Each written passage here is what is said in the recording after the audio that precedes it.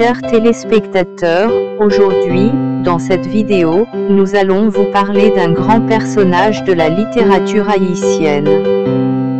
Fondateur du Parti communiste haïtien. Il fut écrivain, homme politique, journaliste et ethnologue.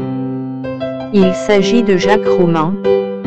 À partir des données recueillies, Jacques Roumain est né le 4 juin 1907 à Port-au-Prince, Haïti.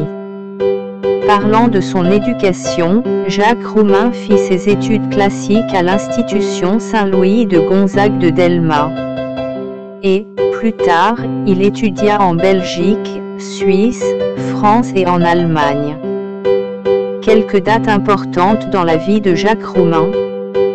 1927, Jacques Roumain revint en Haïti et fut co-créateur de la revue indigène avec Émile Roumet, Philippe Toby Marcelin, Karl Brouard et Antonio Vieux. 1934, il fonda le Parti communiste haïtien. 1915-1934, Jacques Roumain fut très actif dans la lutte contre l'occupation américaine d'Haïti.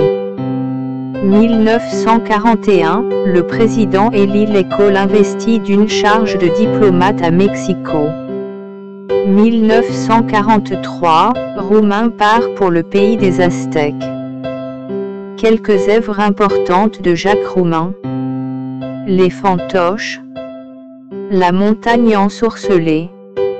Gouverneur de la Rosée. À propos de la campagne anti-superstitieuse. Enfin, Jacques Roumain meurt le 18 août 1944, à l'âge de 37 ans. Chers téléspectateurs, c'est la fin de cette vidéo.